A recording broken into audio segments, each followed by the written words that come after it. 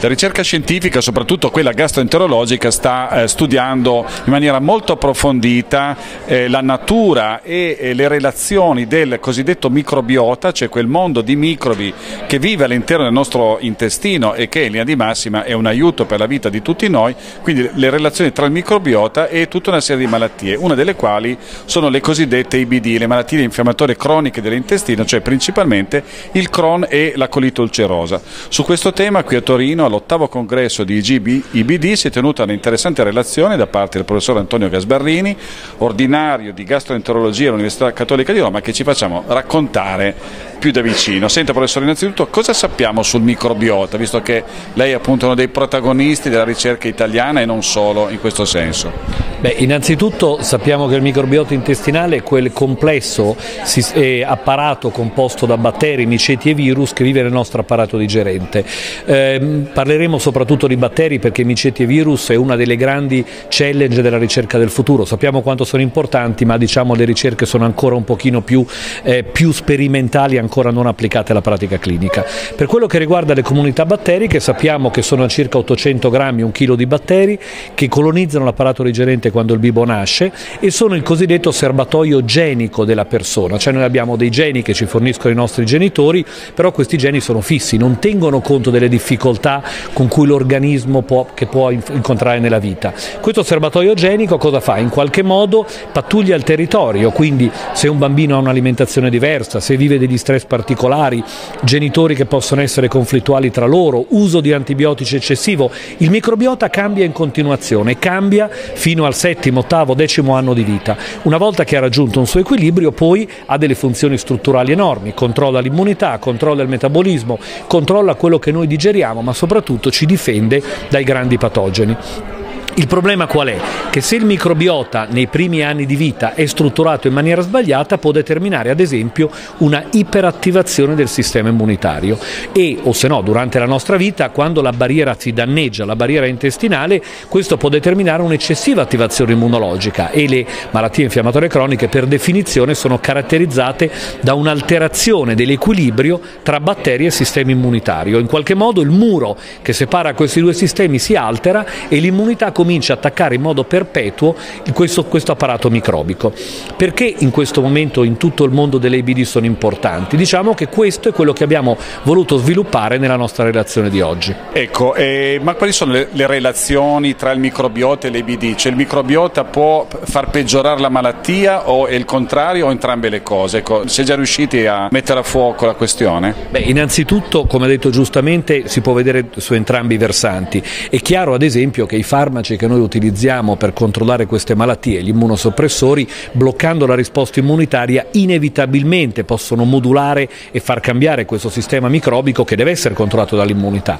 Però i dati ancora più interessanti si sono visti andando a studiare pazienti mai trattati, cioè pazienti che hanno malattie all'esordio. Cosa si è visto?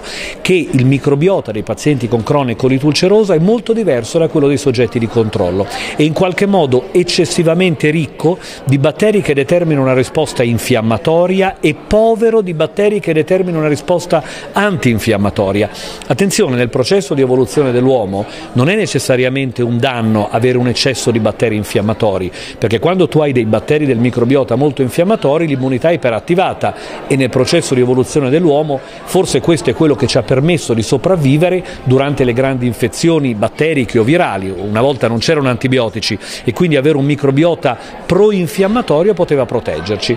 Ora però si è visto che questo microbiota pro-infiammatorio, se avvengono troppi meccanismi di danno o ad esempio se avviene una condizione stressante che determina un aumento della permeabilità dell'intestino e quindi un passaggio di questi batteri pro-infiammatori, determina una risposta infiammatoria molto importante e se non ci sono meccanismi di riparazione questa risposta si può propagare. Si è visto in particolare, calcolate quanto sono forti questi dati, che se si trapianta il microbiota di una persona malata in un modello animale sano, l'animale sviluppa colite ulcerosa. Questo vuol dire che si può trapiantare il fenotipo della colite ulcerosa, con enormi ripercussioni, ad esempio anche nelle madri affette da colite ulcerosa che devono crescere i loro bambini piccoli sani.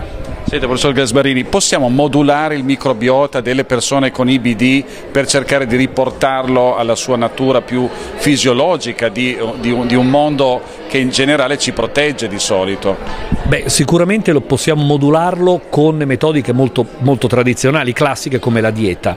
Non è un caso che quando uno mangia una dieta povera in proteine animali e molto ricche in fibre indigeribili, verdura, insalata, spesso la frutta, cosa determina? Determina la crescita di batteri che fermentano questi prodotti e questa, la fermentazione di questi prodotti porta alla produzione di acidi grassi a catena breve che sono molecole che attivando le T-reg sono molecole antinfiammatorie. Quindi in qualche modo la dieta modula la composizione del microbiota e poi attraverso un effetto metabolico questa modulazione porta a una risposta antinfiammatoria.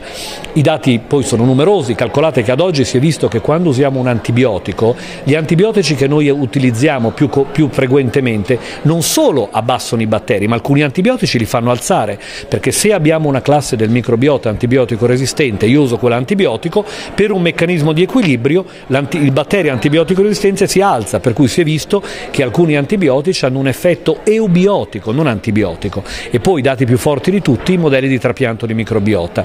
Si è visto che trapiantando una biomassa perfettamente strutturata, sana, in un soggetto affetto di questa malattia, questo trapianto può portare alla remissione della malattia, della colite ulcerosa. Quindi è chiaro che è un mondo in continua evoluzione con enormi ripercussioni anche per la pratica terapeutica. Senta professore, per finire possiamo dare tre consigli pratici alle persone con malattie infiammatorie croniche intestinali, quindi che hanno crono oppure colite ulcerosa, per, eh, appunto, per cercare di migliorare la, la natura, la, la, lo stato diciamo così, del loro microbiota? Innanzitutto eh, dobbiamo fare in modo che i cosiddetti influencer, cioè i fattori che modificano il microbiota, siano tutti influencer a favore. Il primo di tutti è avere una dieta estremamente sana, povera in proteine animali, estremamente ricca in fibre vegetali, che sono fibre quindi assorbite eh, solo in parte dal tenue ma super digerite dai batteri del colon. Questo porta alla produzione di molecole estremamente positive, quindi ricca, una dieta molto ricca in fibre. Evitare lo stress, perché lo stress attenzione, questo microbiota è tenuto separato dall'immunità da una barriera, che è la barriera intestinale. Questa barriera può, può essere però in qualche modo influenzata dallo stress, quindi evitare condizioni stressanti. Nella vita questo è spesso impossibile, però evitare stress prolungati, se possibile capire la condizione stressante ed eliminarla. Dormire, perché ad esempio il microbiota può essere cambiato come la permeabilità con persone che dormono molto poco o fanno esercizio fisico a volte troppo intenso. L'esercizio fisico deve essere in qualche modo modulato sulla base delle capacità muscolari della persona. E poi, una volta che tutto questo si è realizzato, fare in modo di mantenerlo sano. Ad esempio, soprattutto quando si è piccoli e quindi il microbiota non è strutturato, evitare un eccessivo uso di antibiotici, che è uno dei più grandi modulatori del microbiota intestinale. Gli integratori servono? Gli integratori sì, però devono essere integratori che portano un valore aggiunto. Il mondo dei prebiotici, dei probiotici, dei postbiotici, del, del, della nutrizione, della nutraceutica, dei cosiddetti cibi speciali o novel food è importantissimo, però bisogna utilizzare sostanze con una logica. Va di moda ad esempio in questo momento fare le diete low FODMAPs, cioè povere in mono di oligosaccaridi assorbibili perché riducono il meteorismo, però attenzione, a volte queste diete fanno sovraccrescere batteri infiammatori, quindi in ogni caso fare tutto sotto il controllo medico.